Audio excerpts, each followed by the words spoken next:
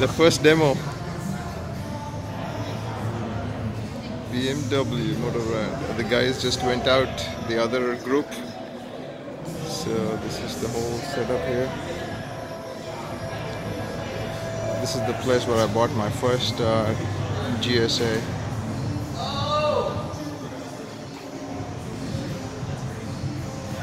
So the bikes line up here and then uh, they all go out.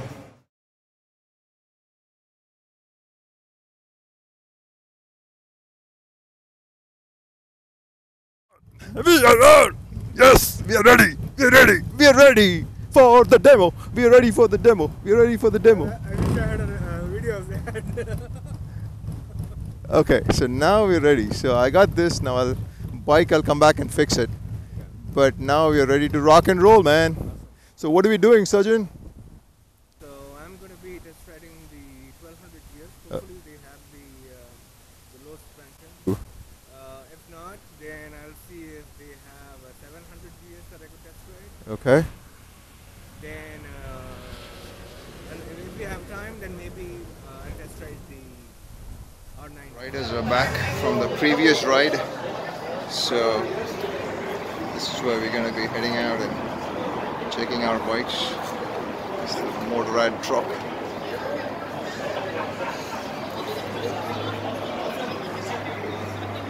Ooh, Sajjan right here. Picture. Okay, there you go. Let me grab a picture. Okay. Uh, 310 GS. So let's see how that is. It looks like a cool bike.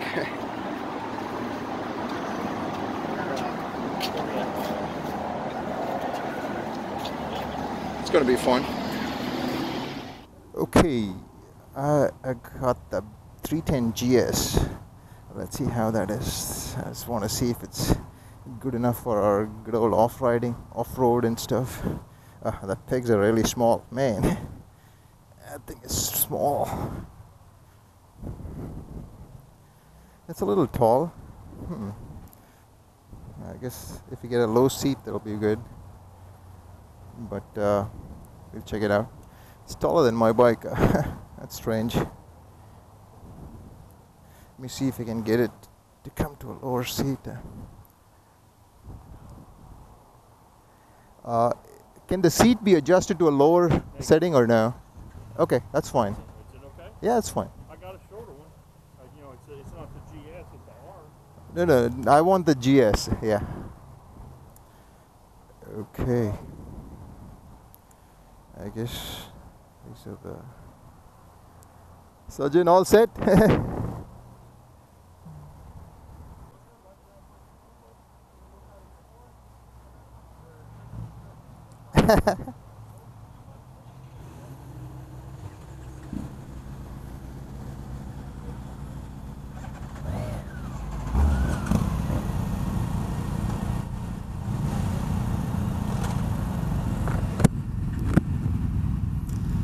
Okay.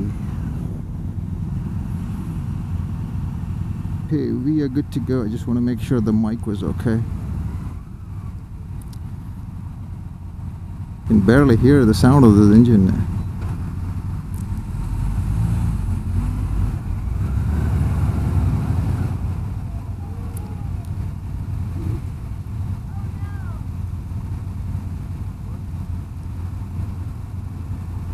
You good, Sachin?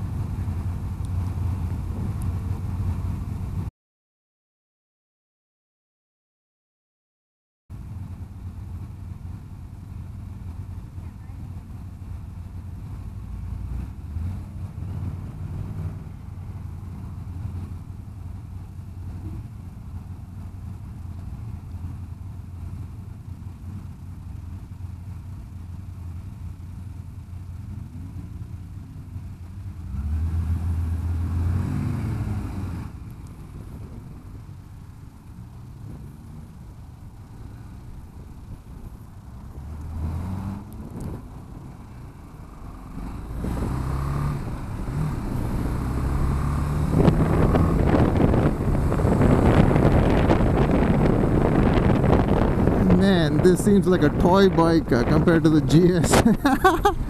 That's the first impression. Dude, this thing is small. This thing is small. Ah, a lot of vibration, a lot of wind. Oh man. That thing is it's unbelievable how different it is compared to the big guy. It is. okay. Keep bringing it out, I guess.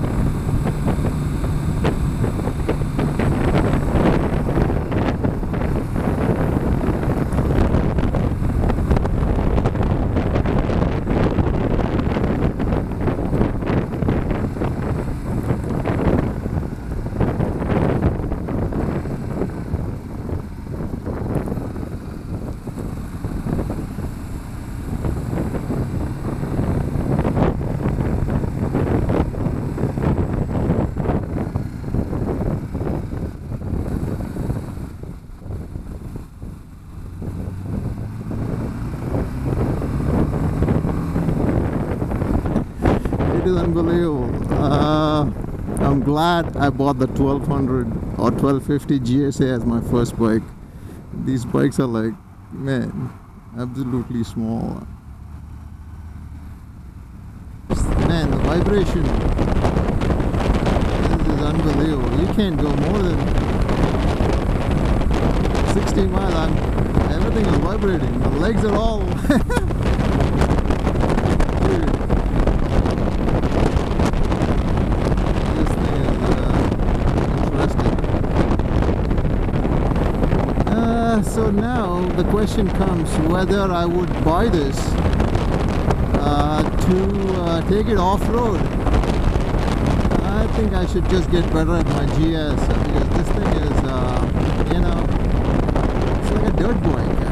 For some reason, it's just it just feels like uh, maybe I should. My expectations are a little different. Uh, it's just uh, you know after once we ride the 1250 GSA, I guess there's no going back. That's what I can say. Uh,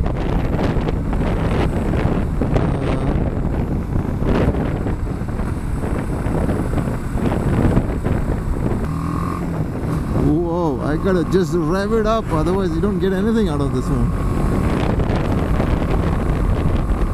It's just nothing out here.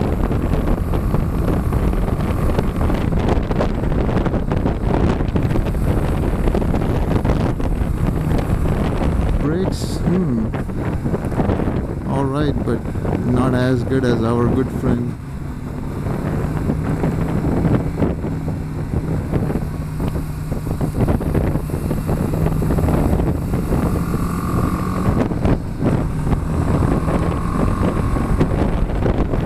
Yep, I think maybe off-road might be alright, but city and everything else, man, this thing is just... There's nothing there. And this bike has got just like 420 miles. So, you know, that's nothing. You be careful about the brakes.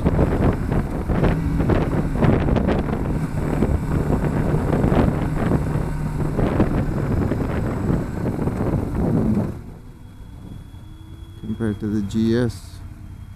I guess it's a huge difference.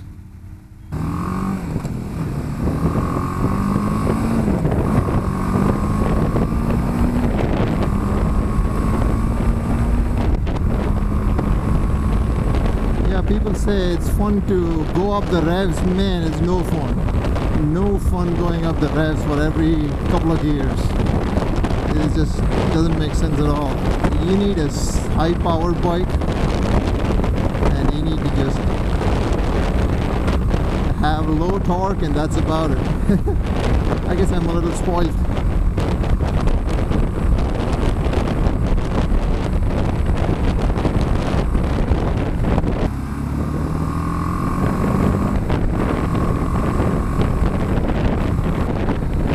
Okay, so getting a 310 GS just to go off-road. Uh, I guess you can't try off-road out here, but uh, it is a little. Uh, it might be okay. I got to see how it feels. Uh, you know, standing up and stuff like that. I guess, but. Uh, uh, it's a problem for city rides and stuff. I just think it's it's not an option. I don't think. Yep, you gotta wind it up, wind it up.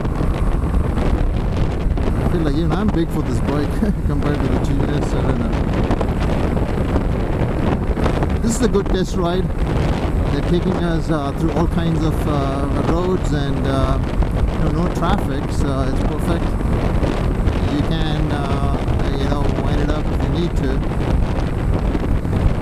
so uh, I've been noticing that I had kept my visor open because it was hot that's why my too much noise in my recordings but now I think hopefully that's been fixed. It's 60 miles an hour and feels like 90 uh, you gotta prepare early for this bike because the brakes and stuff is man. Uh, I guess the GSA is a GSA the guys are gonna say you're, you're just a power hungry beast because this is uh, it's alright it's alright Just because of the airflow, I think. He's a lot faster than 65 miles an hour. It's a good test ride. I really like uh, what they're doing here.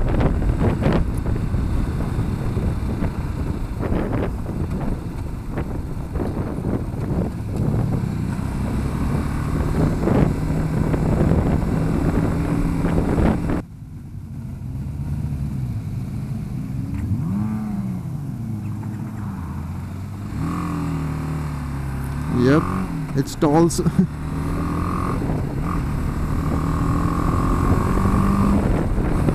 stalls at low speed. You gotta be careful.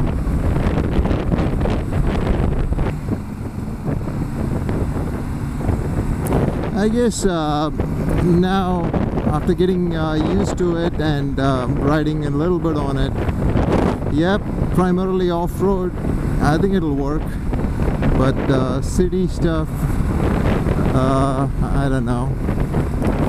It's a little different kind of beast. So uh, my verdict is it's it's just not for me I think in terms of uh, city stuff man. But um, but it's a you know I don't know. I just don't uh, like how it vibrates and all that stuff so unless it's just off-road I'm not sure if you'd ever want to buy this because you you know contrary to what people say uh, high horsepower better quality is always better than low horsepower and you know bad you know lower quality irrespective of, of uh, what your uh, riding skill is uh. so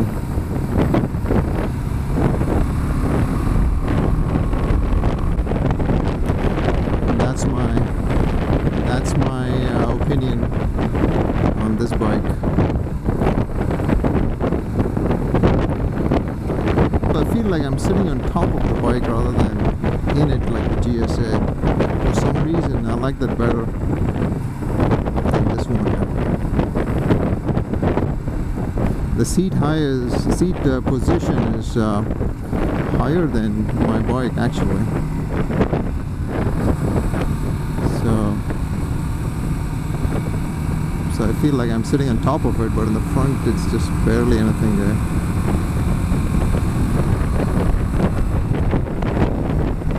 Oh, okay. Got the indicators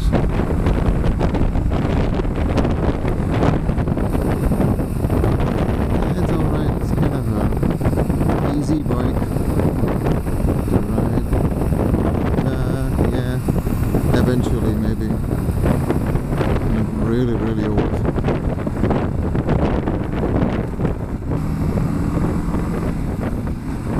the indicators.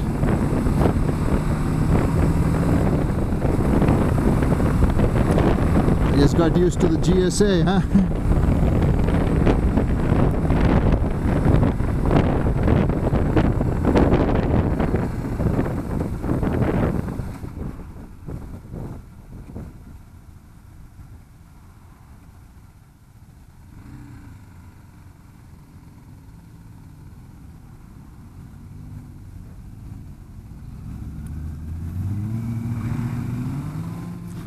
Whoa, the fork dives. oh, lordy. You break hard and the fork dives. Man, I've never experienced that one. I guess that telelever suspension is good, huh? And I guess I'm just spoiled. Having ridden nothing but the GSA. oh, lordy.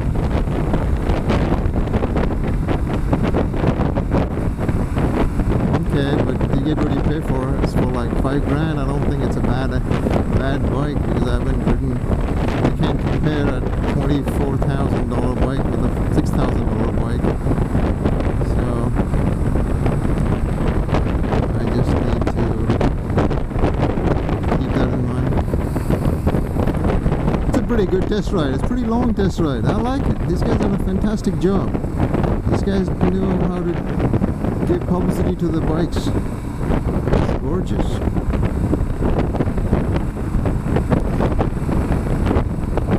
I think it's well worth it. Well worth it. You know what the uh, expectations are uh, on this bike? It's a big difference. And uh, yes, you know, you just need to. Uh, you can't go more than you know 50, 60 miles an hour 60 miles an hour on this. If you do wanted a long distance on this bike, man, it's, it's just impossible. I think. I think that's not a good idea. So. Uh, so will I get this bike if I need to go off-roading and just small trips? You know what? I think probably uh, yes if uh, if it performs well off-road and basically if it's light you know that's that's the bottom line and now you have to pretty much uh, figure out whether you want a dirt bike which can do everything or or this guy. Trying to keep up with the bagger out there in front of me. Uh, that's not possible.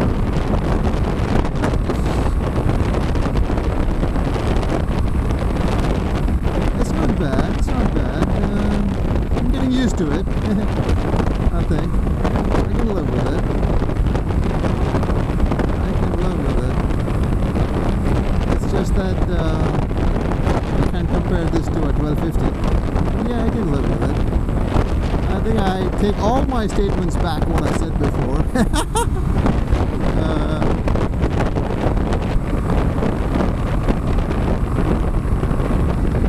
maybe a low seat would be better. I like uh, sitting inside the bike I don't like that sitting on top of the bike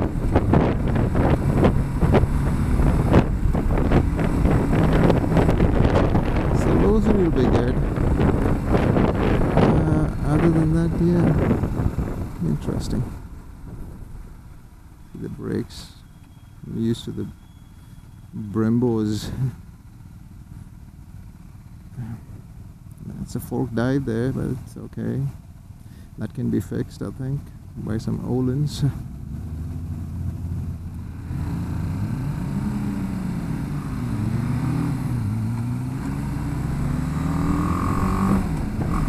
I'm glad I didn't pick the, this bike for my city and uh, uh, regular use as the first bike, as everybody advises you pick a small CC bike and all that stuff, and that's all bullshit. Pick the biggest and ba- baddest you can get, and get used to it. I think that's that's the way to go.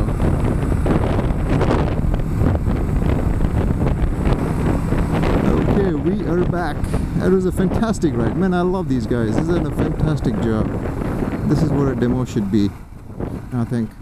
they took me to all you know all kinds of places and I stalled once because of that stupid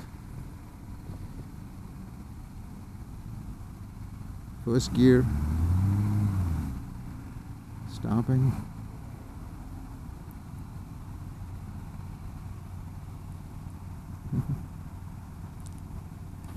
man. It's got no power compared to the 1250 man. Definitely not. but interesting. It's nice.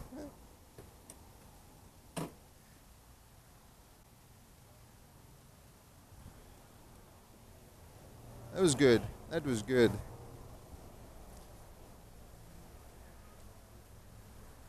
Thank you sir. That was a fantastic ride hey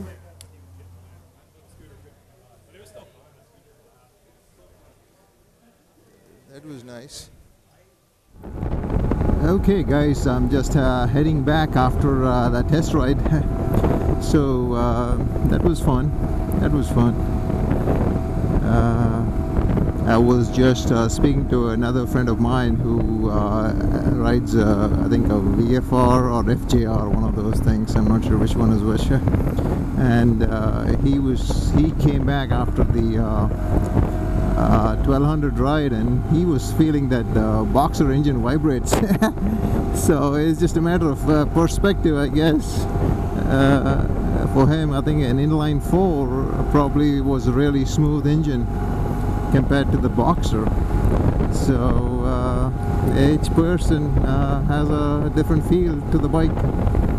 So that was interesting. So 310 was alright but uh, yeah I'm glad I got the 1250 for my uh, regular riding and everything else. So I think I'm, I'm pretty happy with this bike now I'm gonna be happy with this uh, for some time I think.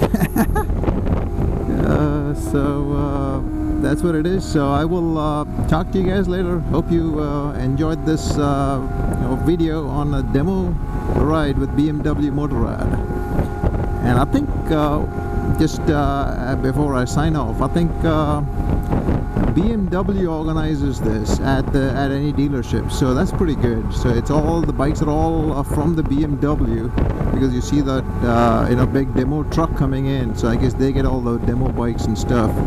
So uh, that way you know they take care of it and sometimes the dealers can be you know picky about stuff and things like that so I think uh, a big shout out to BMW for uh, having this uh, demo set up. I think it's a really good opportunity for people to try out different bikes and uh, probably I will uh, come back after a few years and um, check out some different stuff but uh, for now I think I'm good. Thank you very much and I will talk to you guys later.